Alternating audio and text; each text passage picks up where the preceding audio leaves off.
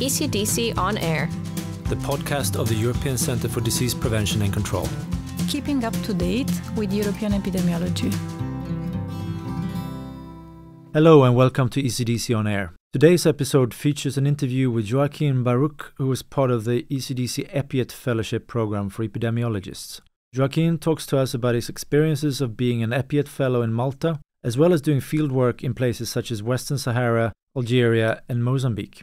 This episode was recorded during the ESCAIDE conference in 2022, and we are airing it now to mark the World Field Epidemiology Day, which takes place on the 7th of September.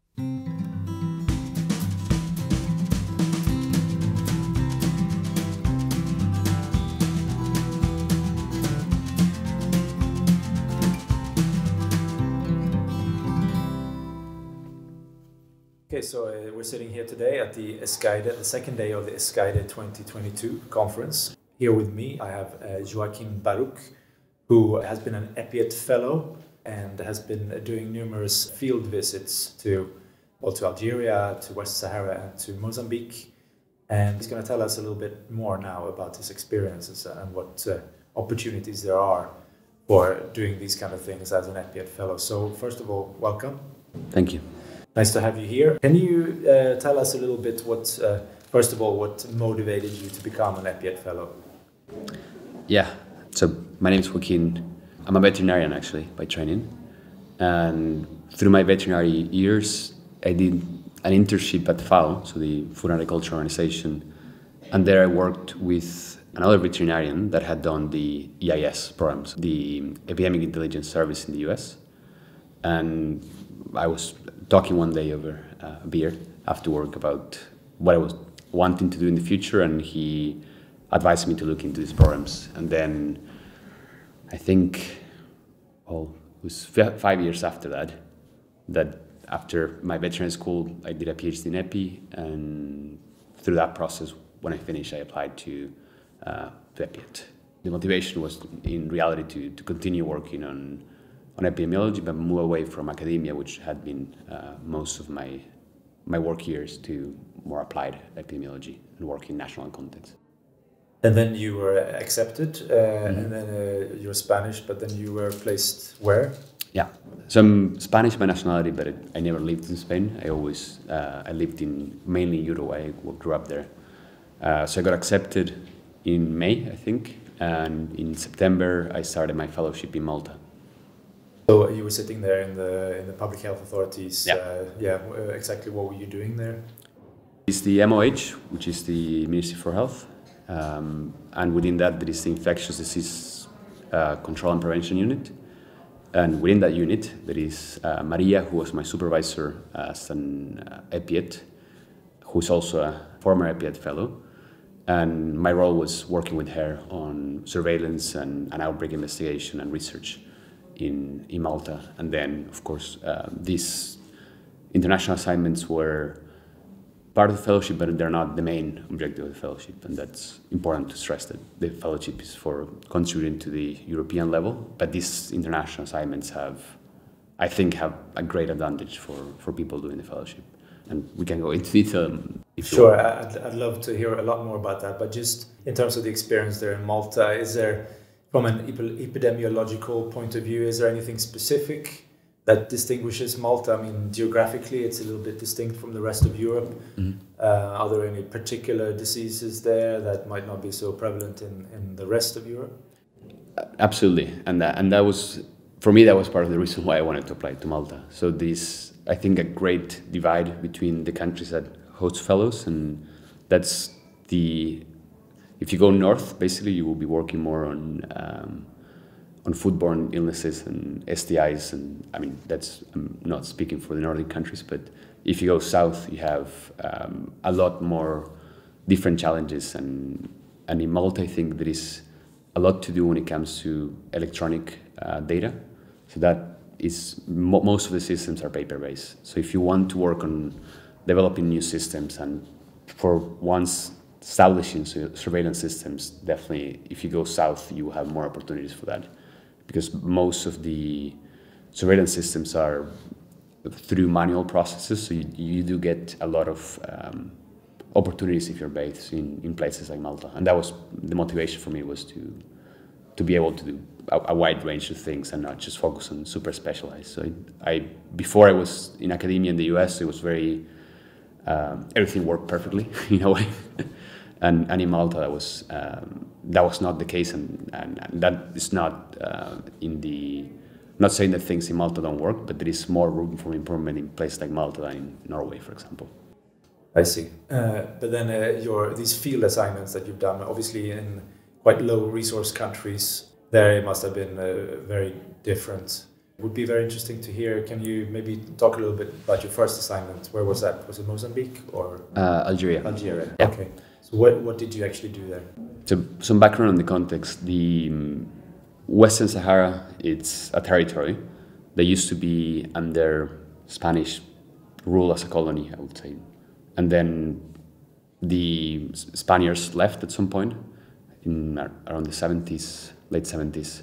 And then that territory became a conflict zone. So then many refugees from there, many, many people there became refugees by fleeing to Algeria. And there is um, a city in the border between Algeria, uh, the territory of West Sahara, and, Mauritania that hosts around 100,000 people. Uh, and this is the middle of the desert. There is, there is nothing around. Uh, and therefore, people live out of international aid mainly, so mainly through WFP, UNHCR, and uh, like 95% of their food is normally through international aid. So my role there was to work with the WHO country office and WHO headquarters on a system that is called Go Data, that is for doing surveillance and contact tracing. So we set up that system in the different uh, five camps that there are in the in the refugee camps, and the way it worked was uh, a colleague from the country office and myself went there and stayed there for eight weeks in total, in which we were. It was, it was quite the fun process, and the environment is very challenging, and security was was fine, but because we, there were a lot of measures in place. But it was quite the fun assignment. Uh, we we would get up every morning and and, and hop on the convoy and uh, and drive to the, the refugee camps and, and work with authorities, train the local staff in each one of the hospitals in the refugee camp, teach them how to use the this tool. We gave them tablets and then we monitor how that went on along through the process. And then they had their own leadership that was working on on setting up the tool, and we were providing the, the technical expertise. So then we had roughly, I think, three, three weeks in which we in which we set up the system, and then we had another three weeks in which we monitored the system, how it was working, and then retrain and, and go back to each one of the, the camps and set up with the contact tracers, and they were doing contact tracing for COVID, and, and, and it was, and they're still actually, this was September 2021, and I got a message a couple of weeks ago that they were still using it, and they still were using the same Excel sheet that I had set up for, for doing the analysis and the reporting, and and it's I, I think it's quite nice to see that they're they're still using the same system that we that we had built together there. It sounds uh, like it was pretty hands-on work, uh, very close to to the patients Yeah. themselves. Because I, I guess sometimes you have the image of an epidemiologist sitting mainly in front of a computer in an office, analyzing data sets and so on. But here, I guess you were very much part of the implementation of systems and processes. You said you worked with the contact tracers, so you Mhm. really came out there. Yeah, of course there were sessions sitting in front of the computer, but no, we were going every morning, normally six days a week, uh, to the camps, and and that meant either the central organization of the camp or the the hospital, which is the surveillance unit, and then it was we would normally train five to ten people per camp, and also the the, the focal point for each camp.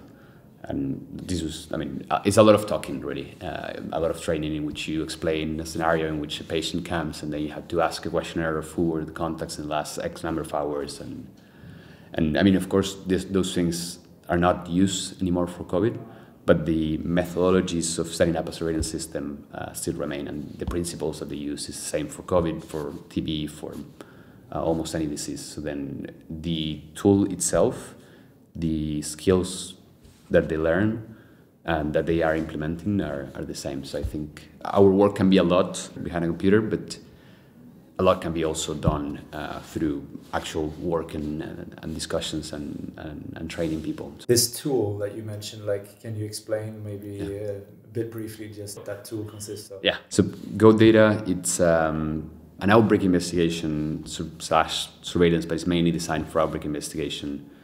Um, that what it does is when you're investigating an outbreak, you want to know who's getting sick, and if it's an infectious disease that you want to monitor the contacts, you want to know who the contacts are and what are the periods that you should follow them. So if you if you think um, COVID, let's say that you get positive, uh, then the authorities will contact you and say, who have you been in the last X number of hours? Do you live with someone? And then the authorities in the, that case, the idea is not to surveil people for control, but it's actually to provide the, the, the healthcare needs that are necessary.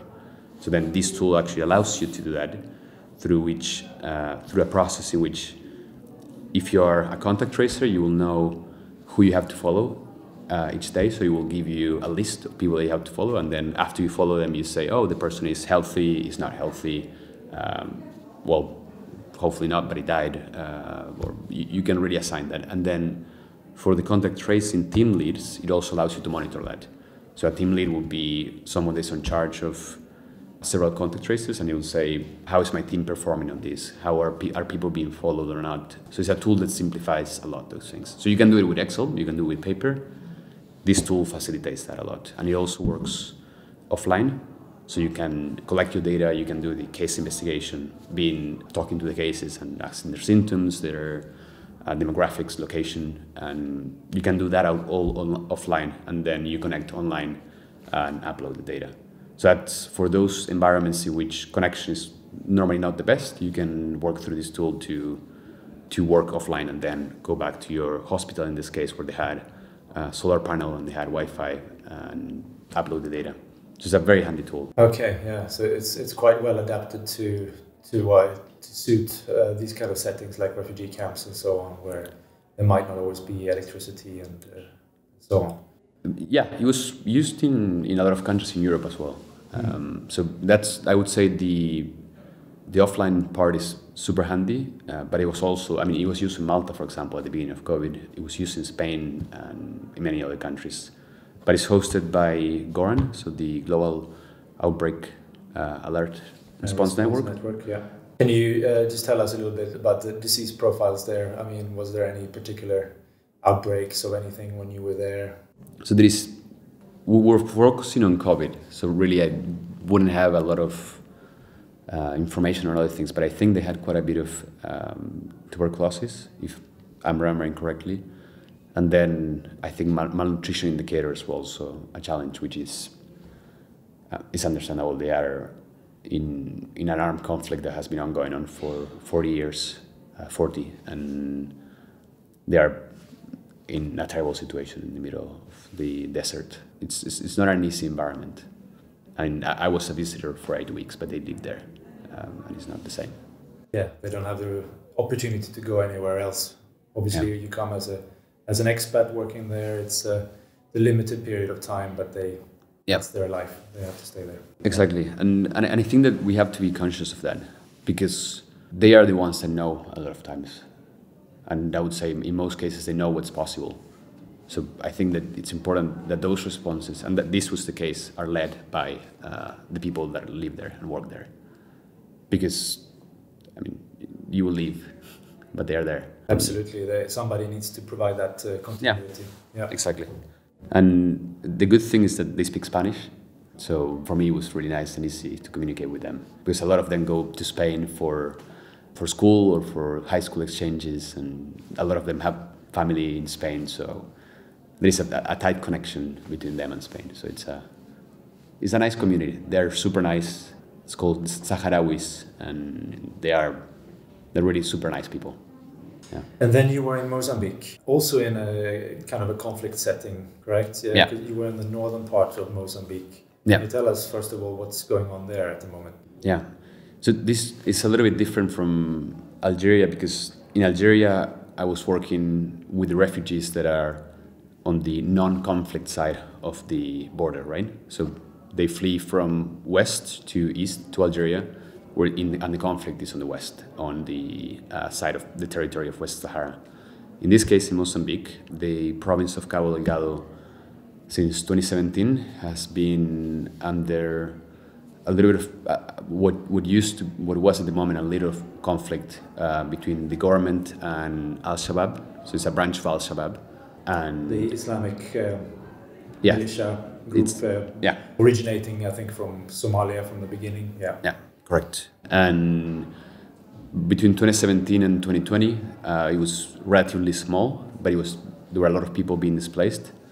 And in 2020 and 2021, that escalated. And now the province that normally has roughly 2 million people living there and now has about 900,000 that are displaced. So 45% of the population of this region that is one of the poorest regions within one of the poorest countries in the world has been deeply affected by this and, and you see the usual suspects of uh, violence by this type of groups that generates really uh, terror on the population and people are extremely affected psychologically of course by violence so it's um, it's, it's a complicated situation and and there is a lot of suffering going on there. And it's important to, to also highlight that there are many conflicts going on around the world, and this one is not getting a lot of attention. And of course, this is a matter of proportion of uh, conflict. So, of course, in Ukraine, there's a lot going on, and it's terrible.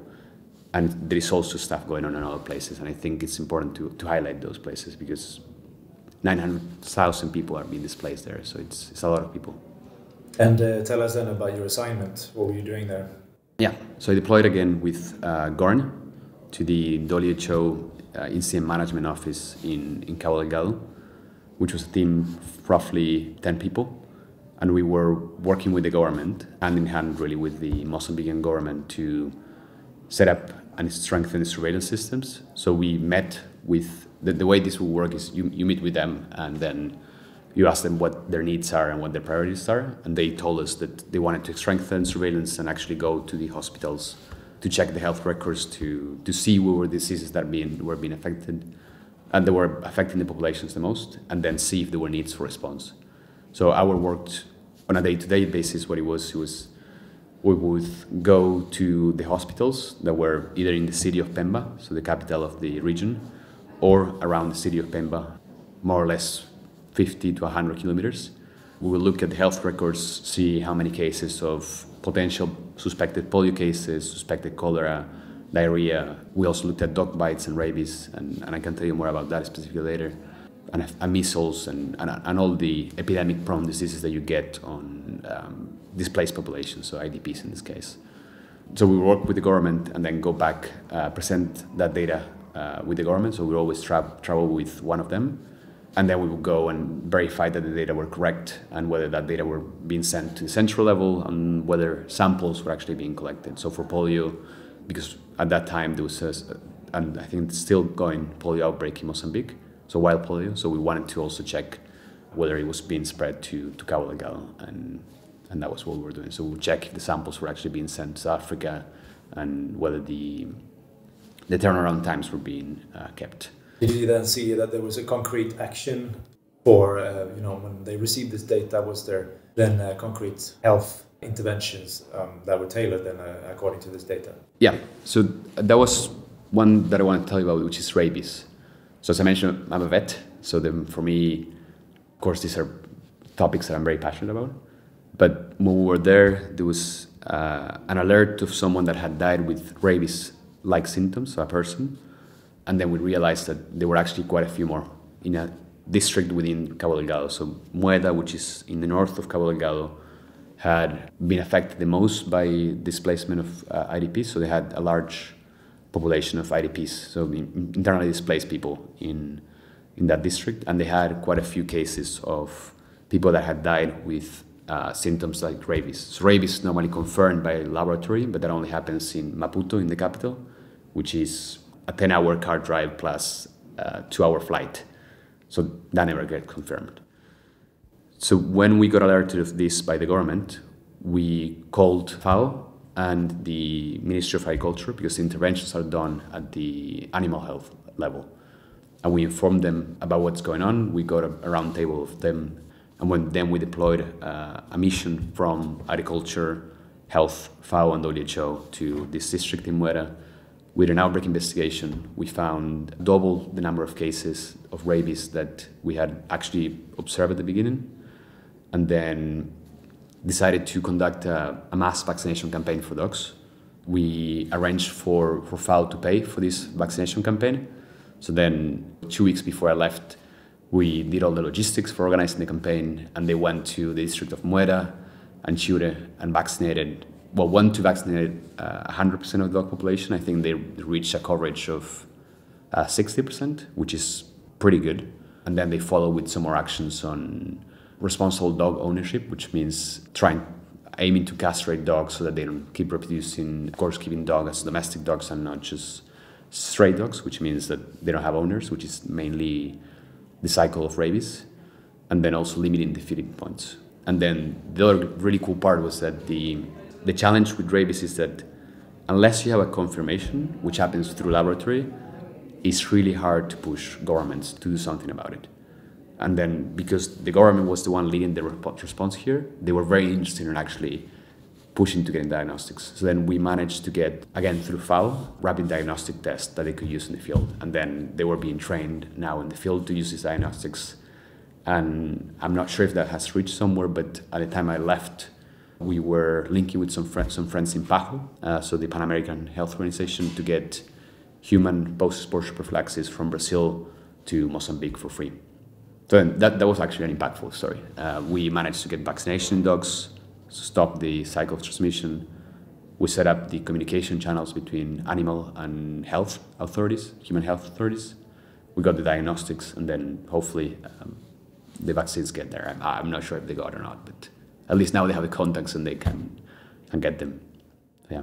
This is a high risk setting that you've been working in. Or did you feel that you were ever was it, did you fear for your own security at some point?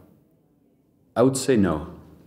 Of course, if you go there, you accept that there are certain risks, and that the risks that you see there are higher than in your country if you're based in many European countries. But there are systems in place to protect people that work under international organizations like MSF, for example, or also the UN. So the UN is under UNDSS, which is the UN security. I, I, don't know what the acronym is, but they, they are in charge of this. We had to ask for them to approve our travel. So each time we would go to a hospital, they had to make sure the roads were actually safe. And safe, I mean, not for driving speeds, but actually, actually safe. And then also assign us a security officer. So we had, in within the 10, 10 people that I mentioned earlier, we had an ex-Mozambican military person that was always with us when we would go to these situations and he would clear the roads before we would go to make sure that there are no threats on the way. We always had communication through either walkie-talkies or, or telephones, depending on the circumstances, and and it was normally more than one car, which also helps with security. But it, it was different than in Algeria. When in Algeria we always had a military escort. Algeria, I would say the the security was more militarized, in which to go to the camps, we had an, an uh, Algerian military escort, and then in the camp we'll change to a military escort from the camp. But here it was it, it was different, but it was also super standardized. So I would say yes, it's risky. There are systems in place to protect people, but there is also, I think, the not just the physical safety aspect, but also I, I think the mental safety aspect and for longer missions, you need rest and recover. So it's periods in which you can get out of those places and just rest. And I think that's that's something that at least at the end of the mission, after being there for two months, felt that it was needed. Yeah, it's just because you tend to normalize certain things that you shouldn't be normalizing, and I think it's it's important to get out of those and, and come back with a fresh mind. What do you feel you've learned as an epidemiologist from this? I think you get very flexible. yeah, I think you, you really get very flexible because you have to you just have to, to be able to, to work under different circumstances to learn that you're not speaking the same language that they are. But i mean unless i, I speak portuguese and, and, in algeria i was speaking french but it's not my mother tongue. And and of course there are miscommunications. So you have to be patient. And you will miscommunicate things that they will misunderstand, and they will communicate things that you will misunderstand. And I think the key thing is that it's not personal. So I learned, and I learned this before, but I still feel like one of the strongest things that you can do is not take things personally, and just be nice. And people are nice. Normally things work out, and people, I think, in general, are nice, and they try to do the best that they can with the information they have. So if they're not doing something that you think is the best, it might just be because you have different information that they have, or because they have a different view, and it's fine and it's not personal. And I think that's something that it's needed to be more tolerable and, and just nice to everyone. Maybe I'm idealistic, but. Would you recommend doing this for the, the other EPIET fellows that are thinking about going abroad? Will go on? Is it something you would recommend? 100%. I think that there are several folds of why this is good. One of them is that we all work in a network. So countries report to ECDC um, in, within the European Union, in countries ar around the world, there is the WHO structure in which report to the WHO from countries. And having worked in the different levels of these organizations really helps you to appreciate the other side of the communication. And this goes back to this not personal and, and, and, and things you need to understand how people feel and think. But the key thing is that if you work in other organizations, if you have been in different environments, you learn that things work differently and it's okay. And, and I think that just makes you a really uh, all-round epidemiologist. And I, I don't think necessarily that one has to go again to um, a place which is completely different from one where you are. But I think these missions are really super interesting and are really enriching. And so I, 100% I recommend. Yeah. Great. Well, thanks for sharing your experiences yeah. with us, Joaquin. Yeah, thanks, Nicholas.